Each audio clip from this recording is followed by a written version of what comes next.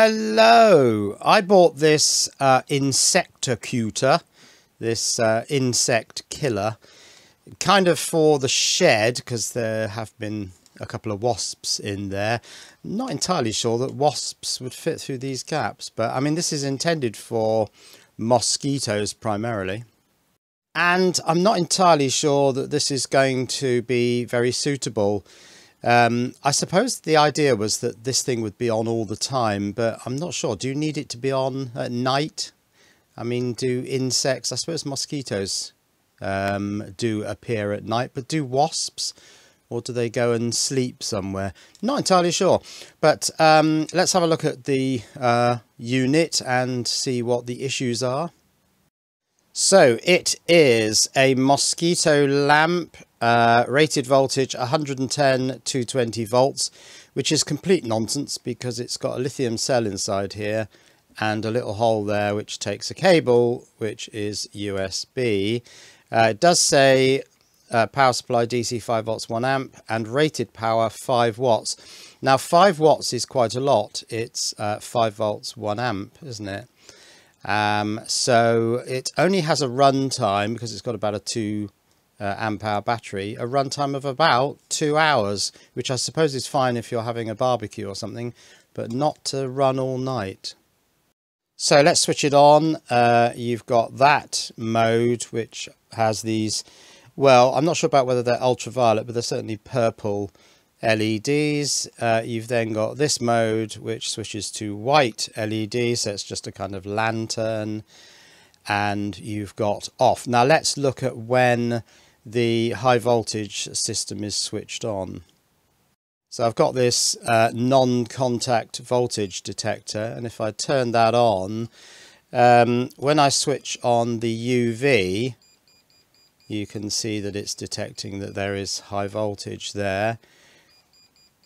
When I switch on just the white lights, that goes away. So the high voltage, it's about three kilovolts, I think, um, electrocution wires are only on when you've got the ultraviolet light on.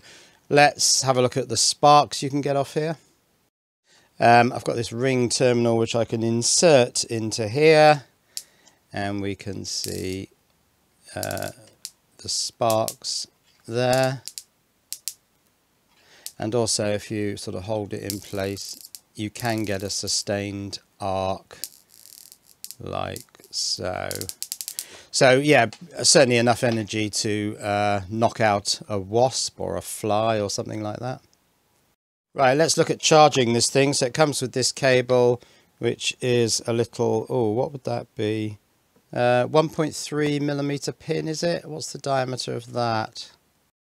Okay, that appears to be 3.5 millimeters outside diameter. Okay, that plugs into that hole and then let's shove this in a power bank.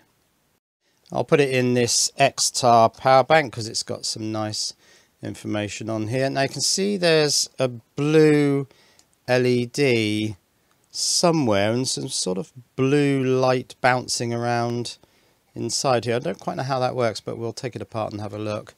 And this is pulling uh, 5 volts, 0.1 amps and then after a period of time which I'll uh, stop the camera for uh, and if you're wondering what this power bank is um, this is the XTAR PB2SL and it's being powered currently by a couple of um, 21700 lithium ion cells and it's still pulling 100 milliamps. I'm waiting for that to go to zero. Oh, I think it's just happened actually that blue light has gone off.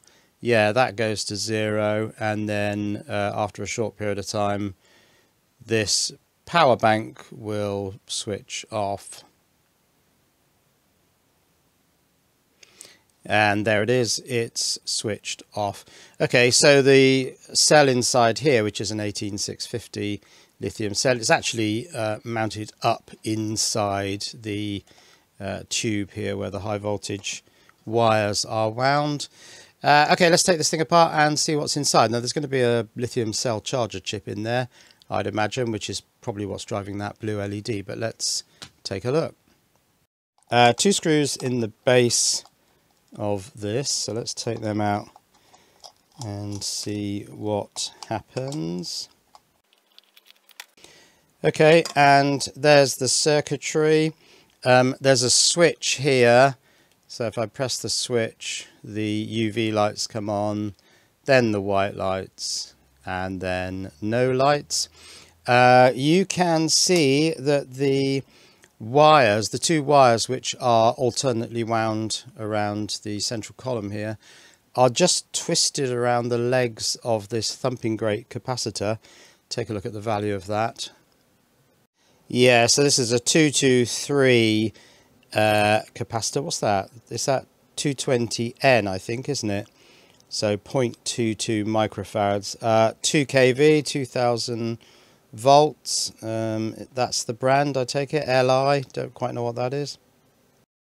Now, there's an 8-pin uh, chip here and a little blue LED there. And if I plug the charging cable in, you can see that the blue LED comes on. So I'm guessing this is the lithium cell charging chip. Uh, something like a TP4056, that sort of thing.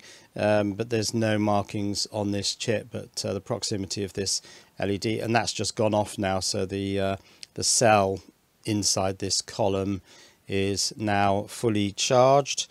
So I can undo that. Uh, this is clearly the cable to the lithium cell. I don't want to touch this board in case um, the capacitor is still charged. There is a resistor here, but it's quite a high value, so I don't quite know how long that would take to. It's a 226. Um, what would that be? 220k, or is it more than that? Yeah, is that 2.2 meg ohms? Or is it 22 meg ohms? I can't think. Yes, 22 meg, isn't it? Because it's 22 2 followed by six zeros. Now, interestingly, uh, these wires that are wrapped around the legs of the capacitor are not soldered and they're actually very loose. And if I move this around, uh, you can see that they're actually moving. So I could probably ease this board out by just lifting these high voltage um, wires that are just, they're not connected at the top of course, they're just simply uh, wound alternately around here and then disconnected at the top obviously because you don't want to short out the capacitor. Um, yeah, just see if these have got any, no there's no charge on those. So uh, I'm just wondering if I can lift this off. Is there an easy way of doing this? Just so I can get the PCB Oh, that one's come off. Let's see if I can do the same with this. Is there an easy way of getting that to come away? Yeah, like so. So the PCB now comes out and there's the lithium cell down the middle. Uh, this top piece with the handle, I think I can coax that off. It's just got a, oh, that's fallen off. It's just got a few uh, clips sitting in little receptacles. Oh, let me do that off camera. And now there's a screw in the top, which I'm guessing will allow the cage to come away from the, um, yes, the central cylinder. But I still can't get that battery out. I think it's been, oh yeah, it's just been pushed into uh, some a, a, sort of funnel thing so that it uh, it grips this. Okay, let's have a look at the cell. Oh, it's less good than I thought it was going to be. Um, this is an 18650. It's only 1200 milliamp hours, uh, 3.7 volts. So in fact, the runtime of this is going to be probably not much more than about an hour, which is quite disappointing, really. And on the bottom of this PCB, uh, we've got four yellow LED, well, white LEDs with their yellow phosphor and also the four ultraviolet LEDs, which are supposed to attract insects. And just quickly in macro mode to see, oh, there's only one resistor on the bottom, isn't there? That one there. Are these all in parallel then? Yeah, I guess they are because we haven't got enough voltage to put them in series. And switching to the top, there's the capacitor. There's the high voltage transformer. Um, this, I presume, is the lithium cell charging chip. There isn't a lot on here in terms of an oscillator. There are a couple of transistors, possibly FETs on here.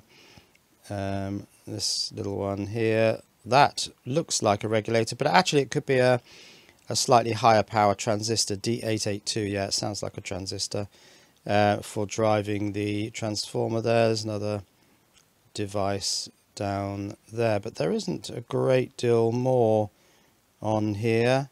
Um, what's this under the capacitor? Oh, I think it's just a couple of uh, little uh, multi-layer ceramic capacitors there and I think a couple of diodes. Now I don't know whether um, once the signal has gone through the transformer, you'll have AC of course at the output there.